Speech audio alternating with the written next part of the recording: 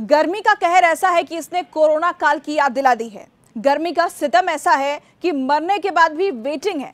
जी हाँ कोरोना काल में आपको याद होगा कि एक ऐसा समय आया था जब दाह संस्कार के लिए शवों को इंतज़ार करना पड़ रहा था और ये राजधानी दिल्ली में एक बार फिर से हो रहा है। पूरी खबर डिटेल में इस वीडियो के ज़रिए मैं आपको दूँगी, इसलिए वीडियो को आप पूरा देखेगा और न्यूज़ 18 इंडिया के हमारे यूट्यूब चैनल को अगर अभी तक आपने सब्सक्राइब नहीं किया है तो हमारे चैनल को सबसे पहले सब्सक्राइब ज़रूर कर लें। साथ ही अगर ये वीडियो आपको पसंद आए तो इसे लाइक और शेयर ज़रूर करें। देखिए, दिल्ली में इस वक्त हीट वेव की मार लोग झेल रहे हैं। गर्मी का प्रकोप ऐसा है कि इसे झेलना मुश्किल हो रहा है।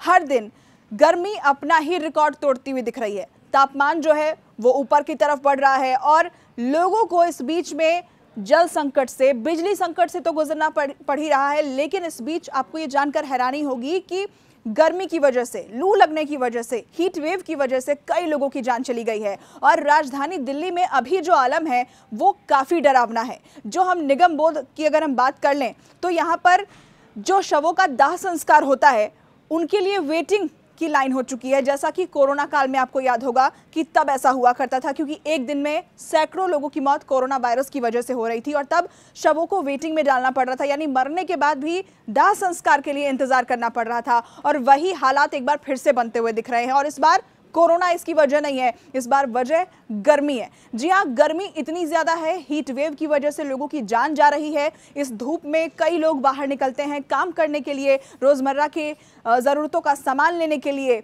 और ऐसे में इस प्रचंड गर्मी को सहन न कर पाने की वजह से कई लोगों की जान जा रही है। अगर मैं आंकड़ा आपको बताऊँ तो ये आंकड़ा और भी ज़्यादा डराने वाला है। पहले आप कोरोना काल के आंकड़े ज़रा देख लीजिए कि कोरोना के समय में 22 अप्रैल 2021 का ये आंकड़ा है, जब दो सौ तिरपन शवों का दाह संस्कार जो है वो निगम बोध घाट पर किया गया था। और अब दिल्ली से जो हैरान करने वाले आंकड़े सामने आए हैं, इस गर्मी की वजह से कितने लोगों की मौत हुई, आप इसे समझिए कि रात 12 बजे तक, कल रात की अगर मैं बात करूँ तो 142 शवों का दाह संस्कार किया जा चुका है। एक दिन का ये आंकड़ा मैं आपको बता रही हूँ।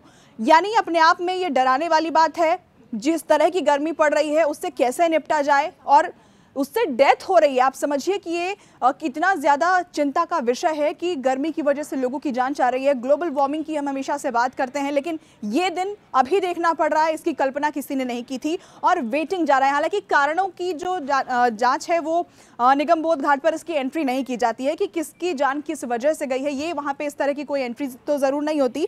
लेकिन जो जानकारी है उसके मुताबिक भयंकर गर्मी की वजह से इन सब की जान गई है ज़्यादातर लोगों की। और निगम बोध घाट पर आलम यह है कि अभी भी वहाँ पर कतार लगी हुई है। लंबी कतार है शवों के दान संस्कार के लिए। और कोरोना के बाद एक दिन में सबसे ज़्यादा दाह संस्कार का ये आंकड़ा मैं आपको बता रही हूँ, यानी 2021 के बाद अब ये आलम गर्मी की वजह से वहाँ पर दिखाई दे रहा है। अब इतनी बड़ी संख्या में मौत जो हो रहा है तो प्रबंधन का यही कहना है कि बड़ी वजह इसके पीछे गर्मी ही हो सकती है। लेकिन कुछ और कारण भी ज़रूर होंगे, कुछ डेथ के आंकड़े जो सामने आए हैं, उसके कारण कुछ और हो सकते हैं।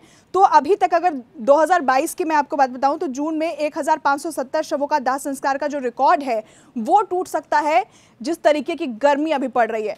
अब इससे बचाव किस तरीके से हो, क्या इस पर कदम उठाए जाने चाहिए, सरकार को क्या स्टेप्स लेने चाहिए, इस पर आपकी क्या राय है, आप क्या सोचते हैं, ये भी आप हमें कमेंट सेक्शन के ज़रिए बता सकते हैं। इसके अलावा गर्मी या किसी और खबर से जुड़ी जानकारी अगर आपको चाहिए तो आप हमें कमेंट सेक्शन में लिखकर बता सकते हैं। हम उस पर भी आपके लिए वीडियोस बनाएँगे।